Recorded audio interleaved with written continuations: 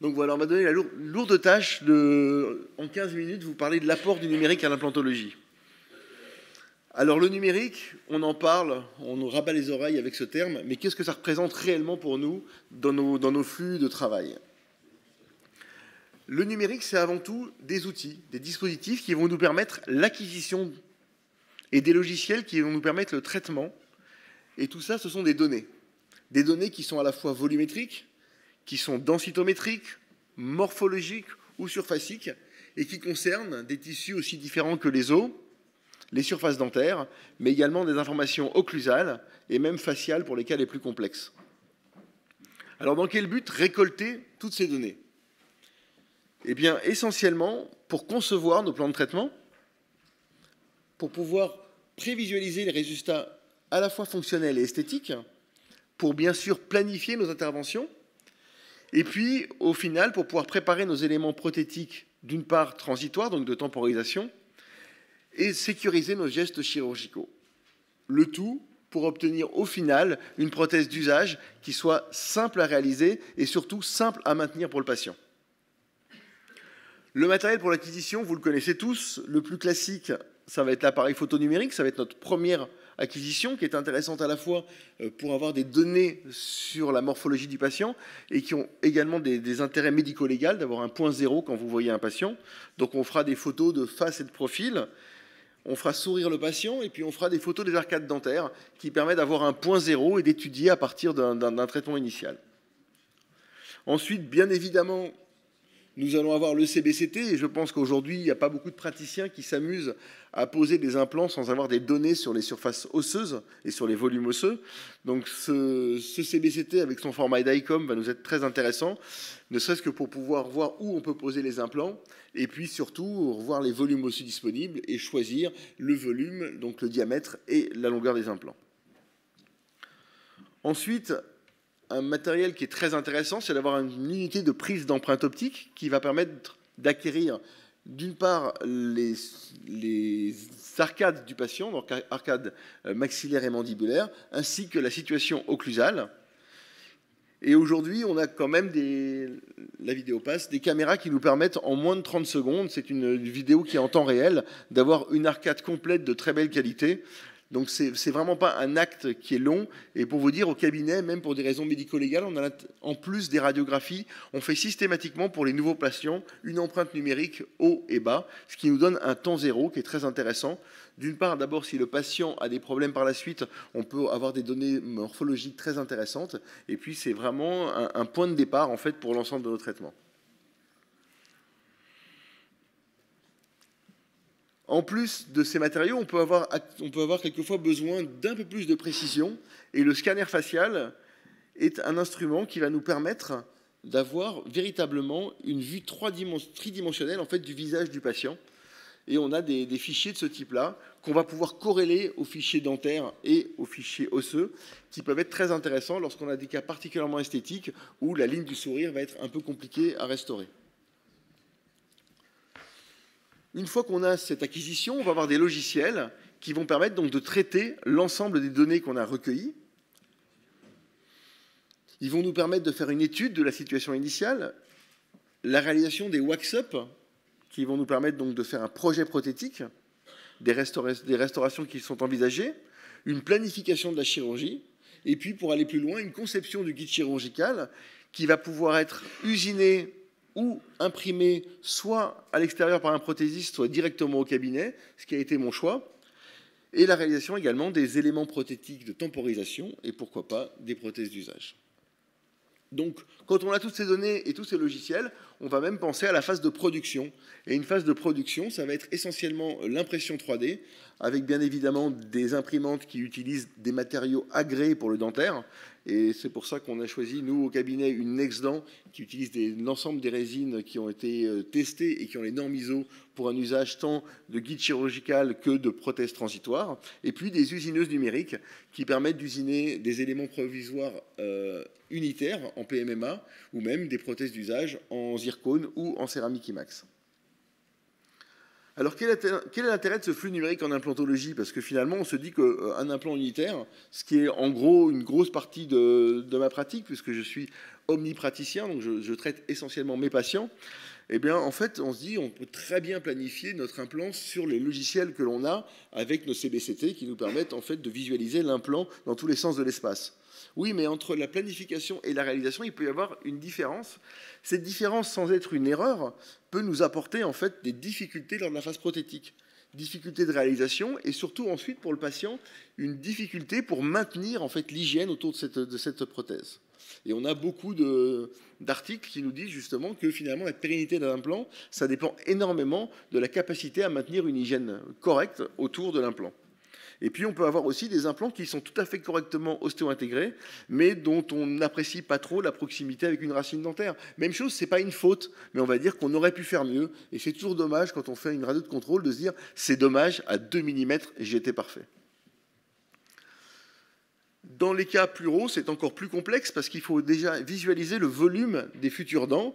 Et très souvent, on va se retrouver avec des cas comme ça, où on a des implants qui ont été très bien posés, ils sont bien ostéo-intégrés, mais par contre, pour réaliser les prothèses d'usage, on a la même chose, des déports, à la fois en, distal et en, en, médial, qui font que la maintenance par le patient va être beaucoup plus compliquée que si on avait réussi à positionner les implants dans leur position, entre guillemets, idéale.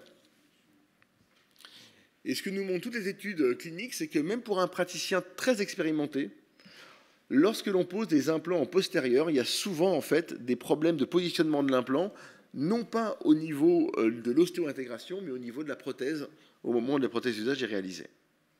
Et comment fait-on quand on n'a pas de, technique particulière pour poser l'implant? Eh bien, on reste avec nos repères anatomiques, le petit pied à coulisses quand on doit en poser deux pour pouvoir trouver le bon espacement, ou pour ceux qui connaissent le kit du docteur Abramami qui m'a longtemps servi, qui permettait de positionner les implants à des distances au moins voulues pour respecter le volume des futurs, des futurs dents.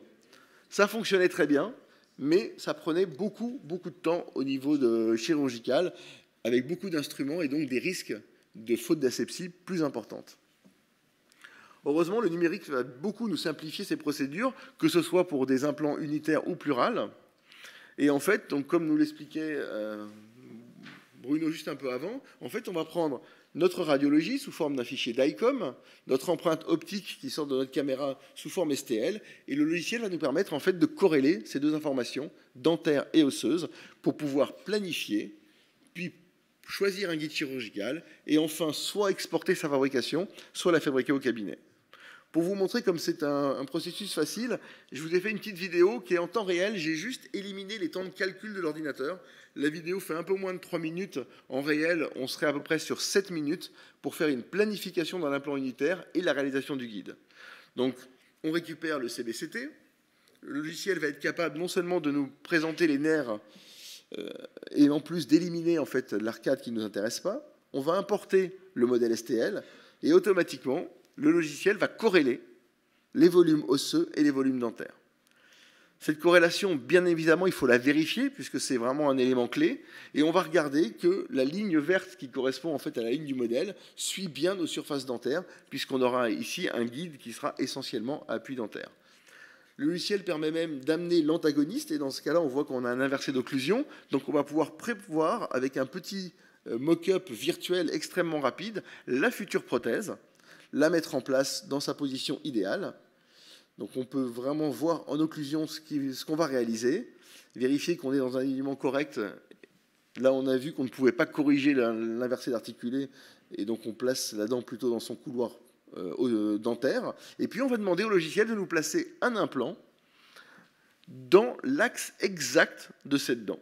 Donc on choisit notre implant, ici un implant de chez Miss, on va choisir donc un implant mandibulaire et automatiquement le logiciel me place l'implant dans l'axe de ma dent. Il me reste plus qu'à vérifier qu'au niveau osseux, l'implant est correctement positionné.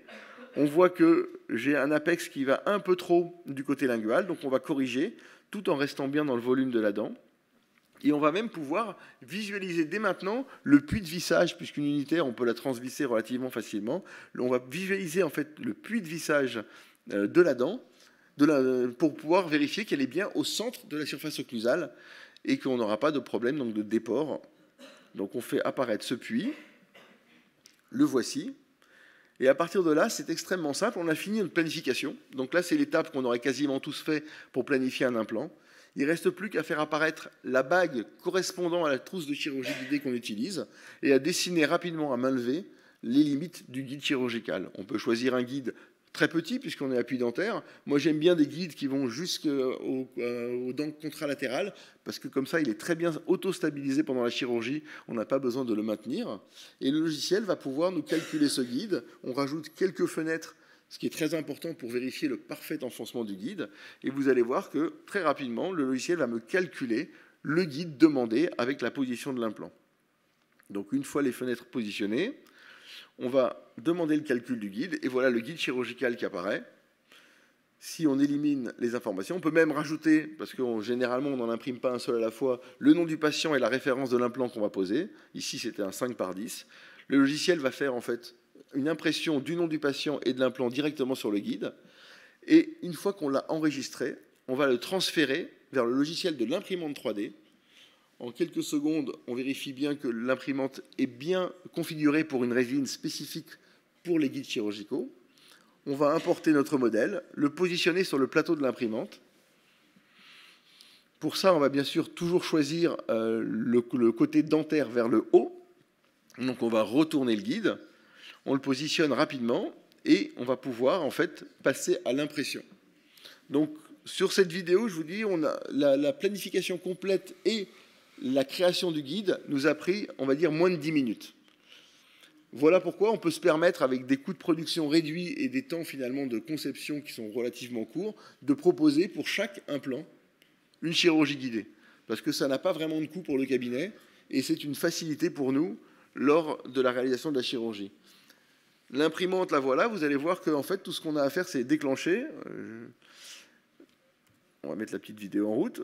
L'imprimante descend dans le bac de résine, le, plateau descend dans le bac de résine, et au bout de quelques, minutes, là on est sur 25 minutes d'impression pour un plateau complet, on aurait pu mettre jusqu'à 5 guides dessus. Le plateau remonte, et comme par magie, on a le guide qui est accroché dessus. On n'a plus qu'à faire le post-traitement, donner un peu d'alcool et retirer les, les petites tiges d'impression.